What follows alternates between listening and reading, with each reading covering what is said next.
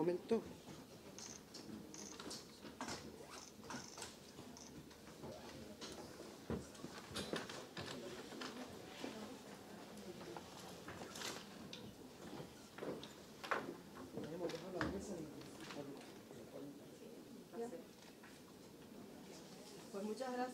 Este acto eh, viene a concluir un proceso de negociación que iniciamos o que pretende- preten- pretendemos pretendimos iniciar perdón, el año pasado en la primera reunión que mantuvimos con el Consejo en Lanzarote,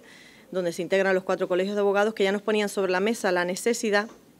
de eh, actualizar los baremos por los que cobra el turno de oficio, en este caso los abogados y abogadas del turno de oficio. Como saben, el Gobierno de Canarias eh, otorga subvención trimestral a los colegios de abogados, que son los que pagan a los eh, abogados y abogadas de oficio, y eh, se hacía con unos baremos que mm, entre una actualización, una eh, bajada de, esas cuantías cuando la crisis económica del año 2008 y una actualización posteriormente en 2012 no se producía una subida. Todos sabemos que la subida del coste de la vida, la subida eh, al final del IPC es eh, muy superior a lo, que, a lo que se quedó cobrando o se quedó regulado en esa orden. Y desde que llegamos a la consejería, ya en septiembre del, del 2023, eh, tras una reunión con el Colegio de Abogados de Tenerife, eh, planteamos una subida, en este caso para el turno, eh, planteamos una subida, en este caso para los abogados que eh, mm, atienden a las personas migrantes en el hierro, precisamente para poder cubrir los costes de algo que no se cubría, que eran los traslados, los billetes, el traslado interno en la isla, porque se dificultaba que pudieran dar una asistencia jurídica eh, gratuita con plenas garantías, puesto que los transportes eh, para la isla eran complicados, se dificultaba conseguir estancia y regulamos esa situación. Posteriormente, eh, en verano, hicimos una reunión para subir y acordar la modificación de la orden que regula estos baremos y subir, en este caso, el, el baremo del turno de extranjería e incorporar con la máxima seguridad jurídica los recursos de apelación que eh, tendrán, el cobro tendrá efectos retroactivos 1 de enero de 2024. Y este es el tercer paso, nos quedaba regularizar todo lo que tiene que ver con los baremos del turno de oficio, reconocer, por tanto, que el camino que emprendimos el año pasado en esa primera reunión era eh, entender que lo justo y lo correcto era poder actualizar esos baremos y que hoy lo que venimos a hacer es la, firmar el acuerdo de la subida de los baremos en un 30%, en la cuantía que eh, tanto el colegio, los colegios como el propio Consejo eh, reclamaban y lo vamos a hacer de la misma manera que hemos acordado con la subida del complemento específico del personal de justicia, que es en tres años. Asumimos eh, un 15% el primer año, un 7% en 2026 y un 8% en 2027. Y, por otra parte, eh, este acuerdo que firmamos hoy también incorpora la necesidad de que tanto a través de los colegios o del propio Consejo haya eh, una formación continuada a quienes prestan eh, el turno, aquí a los abogados que están incluidos en el turno, para eh, tener las máximas garantías en la aplicación de la tutela judicial, en este caso de la justicia jurídica gratuita enfocado sobre todo a víctimas de violencia de género, a menores víctimas de delitos sexuales o bullying, a personas mayores o personas con discapacidad intelectual que sufran algún tipo de agresión o delito y también eh, lo que tiene que ver con la trata de personas. En este caso creemos que hay que reforzar eh, la formación y los colegios y el Consejo han tenido bien así eh, aceptarlo y lo incluimos también en este acuerdo que nos parece importante para los próximos años. Por lo tanto, yo creo que plasmamos o concluimos hoy ese camino que iniciamos el año pasado de ir actualizando y mejorando las condiciones de los abogados de oficio y eh, lo hacemos con la firma de una reivindicación que, como decía, se puso sobre la mesa por parte de los colegios desde el primer momento, lo hacemos de manera conjunta, llegando al acuerdo de actualizar ese 30% que se supone que está cuantificada la subida del IPC en estos años para que, eh, para que podamos actualizar lo que cobran al coste real de la vida. Nosotros hemos pasado por primera vez a superar la cifra de 3 millones en un trimestre, que hemos tenido que llevar al Consejo de Gobierno la autorización para no tener que estar autorizando permanentemente el, pago de los 3 millones de euros al Colegio de Abogados por el, turno, por el tema de migración. Y, mm, y, se, y, lo he dicho también públicamente en alguna ocasión, este año lo presupuestado, que ya lo habíamos incrementado pensando en que iba a haber un, poco más por, el, por la previsión que había de subida en, eh, en materia migratoria, mm, se ha eh, desbordado. Es decir, que no, eso lo podremos saber una vez que finalice eh, el pago del último trimestre del año que viene y bueno, a veces será un poco más, a veces menos en función de lo que, de lo, de lo que se use, ¿no? Vamos a ver, el sistema mm, de pago, y yo creo que eso lo reconocemos todos, em, no es todo lo eficiente que tendría que ser. Es decir, el Gobierno de Canarias presupuesta una cuantía que se paga vía subvención a los colegios de abogados, que son los que le pagan a los abogados de oficio. Eh, eso se hace cada trimestre. Se cierra un trimestre, se presenta la documentación, si la documentación está bien, pues la jefatura de servicio da el visto bueno, si hay que, si hay que corregir algo, vuelve la documentación al colegio, se vuelve a, revisar. Es una de las cosas que nos ha pasado con el Colegio de Tenerife en los últimos pagos. ¿Qué ocurre? Pues que al final los abogados vienen cobrando pasado el trimestre mm, unos cuantos días después. No es el sistema idóneo. Ahora tenemos que sentarnos y ver qué fórmulas podemos poner sobre la mesa para que esto no ocurra así pero esto es un siguiente paso, es decir, ahora estamos mejorando los baremos. Eh, es verdad que fuera de los baremos, ahora mismo em, se quedan algunas actuaciones que los colegios, los abogados consideran que deben estar. Bueno, en esto tendremos que ponernos de acuerdo una vez subidos, eh, una vez concluido, concluida la subida, pasado este tiempo. Pero eh, sí es verdad que en cuanto al sistema de pago, mm, de entrada no parece de sentido común que quien preste un servicio a veces cueste que, pase tanto tiempo para poder cobrar o que no sepas con seguridad qué es lo que está y qué es lo que no. En eso tenemos una reunión pendiente entre los colegios y la jefatura de servicio, incluso para poner en marcha una instrucción que han trabajado los propios colegios.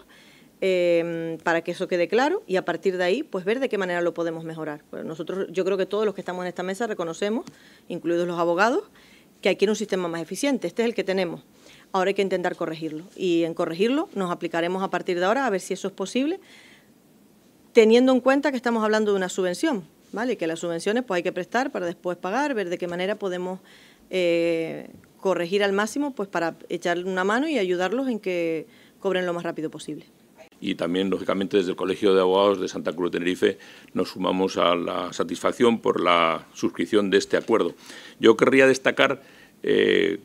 distinto de lo que ya han manifestado ellos, el clima de entendimiento que desde el primer momento hubo entre los responsables políticos de la Consejería y los colegios de abogados. Aunque éramos conscientes de que las limitaciones presupuestarias, las circunstancias concretas económicas, pues impedían que todo se pudiera hacer al ritmo que a nosotros nos hubiera gustado. Pero lo cierto es que se ha llegado a este acuerdo que me parece muy positivo para ambas partes y que, como ya se ha manifestado, pues eh, recoge una reivindicación legítima de los abogados canarios que venimos trabajando, desarrollando, en, como saben, en, en un ámbito en el que existe una gran litigiosidad, en la que hay mucho trabajo que se desarrolla a favor de las personas con menos recursos económicos, que son los beneficiarios del turno de oficio, y por tanto creo que esto también va a suponer una recompensa para ese trabajo que prestan, como se ha dicho, los abogados de oficio 365 días al año, 24 horas. Quiero felicitar especialmente a la, consejera, doña Nieves Lady Barreto, al viceconsejero, don Cesario Rodríguez Santos, y a la directora general, porque siempre nos hemos encontrado acogidos, comprendidos y mm, siempre buscando la fórmula para poder plasmar en un acuerdo eh, las mejoras que veníamos reivindicando y que eran legítimas y justas, pensábamos nosotros. Yo quiero hacer también una especial referencia a unas circunstancias que del Colegio de Abogados de Santa Cruz Tenerife estamos viviendo, que es, como todos ustedes saben, la crisis migratoria que tiene una especial incidencia en la isla del Hierro, a la que se tienen que desplazar todos los días, prácticamente todos los días, muchos abogados que tienen que buscar los aviones, que tienen que buscar muchas veces también el alojamiento, el transporte, etcétera, y que mm, bueno, esa necesidad se vio eh, atendida por la consejería siempre es mejorable, lógicamente, y a nosotros nos gustaría que esto se pudiera mejorar, porque, bueno, pues efectivamente los abogados tienen que adelantar de su bolsillo los gastos en los que incurren cuando tienen que desplazarse a la isla del Hierro, pero bueno, creo que vamos por el buen camino, el reconocimiento de los recursos de apelación contra las resoluciones de los juzgados de los contenciosos administrativos en materia de, de órdenes de impugnación de órdenes de devolución, etcétera, que también eh, bueno, se recoge en este acuerdo y en el otro acuerdo que está también eh, tramitándose actualmente con la Consejería. Nada más, no me quiero extender, simplemente reiterar el agradecimiento y que creo que va a redundar porque lógicamente los abogados esto les va a producir una alegría, esta mejora en las condiciones económicas, que va a redundar sin duda en la prestación, que es lo que a nosotros nos importa, por lo menos a los colegios de abogados, que los usuarios del turno de oficio reciban una atención jurídica de calidad y en eso estamos empeñados los 365 días del año. Nada más, muchas gracias. El que hayan atendido las reclamaciones legítimas de la abogacía canaria integrada en el turno de oficio con aquella primera reunión, como bien dice o acaba de decir la consejera en Lanzarote hace un año, poco más de un año, el tiempo, como saben, cuando se va a contar ya no está. Ahí se les pusieron las reclamaciones, como digo, legítimas. Hemos tenido una serie de reuniones a lo largo de todo este tiempo y hoy se plasma con este acuerdo, pues, parte de, de esas reclamaciones hay un incremento de baremos del turno que creo que era legítimo llevarlo a cabo ya. Se produjo una reducción, como bien saben, en el 2010, 2012. Y bueno, hoy hemos recuperado en esta, en esta línea que, que marcamos hoy con la firma de este acuerdo, esa recuperación en positivo. Eh, nada más. Mm, agradecer, desde luego, la firma de este acuerdo es un principio de que las cosas empiezan a marchar bien para esos tantísimos compañeros y compañeras que cada día, los 365 días del año, las 24 horas del día, se desviven en esta comunidad por atender a las personas más vulnerables económicamente. Creo que hoy es un, digamos, para todos estar contentos eh, en cuanto a que se atiende a, a ese gran trabajo que desarrollan y que hoy se empieza a plasmar y a felicitar con este acuerdo. Nada más. Muchísimas gracias.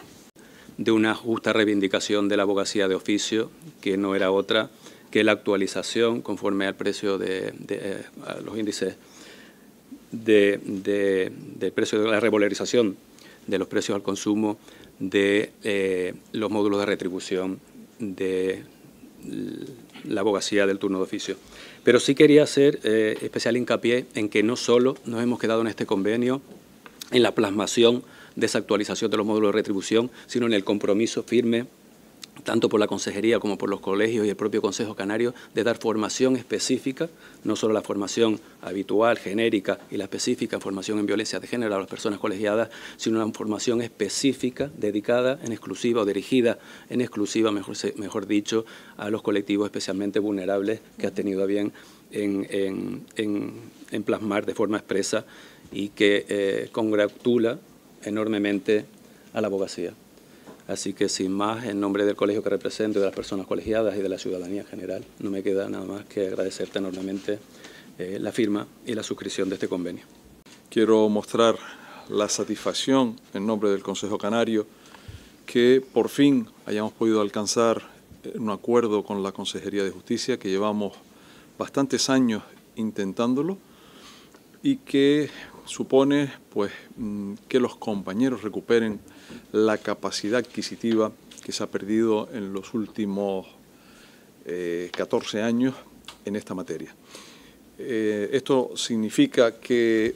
conseguimos una actualización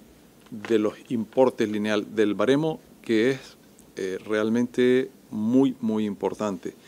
No significa que con esto hayamos cubierto todas las aspiraciones de la abogacía porque hay eh, algunas cuestiones que no eh, se están retribuyendo, son trabajos que se prestan sin retribución. Esto mm, siempre será un objetivo, el que cualquier trabajo tenga una eh, justa compensación. Pero, como digo, nos quedamos muy satisfechos con este acuerdo y, pues, en fin, quiero personalmente agradecer a la consejería representada en este caso por Nieves Lady, pues la sensibilidad que han tenido con este colectivo, que creo que era absolutamente de justicia los términos del acuerdo. Muchas gracias.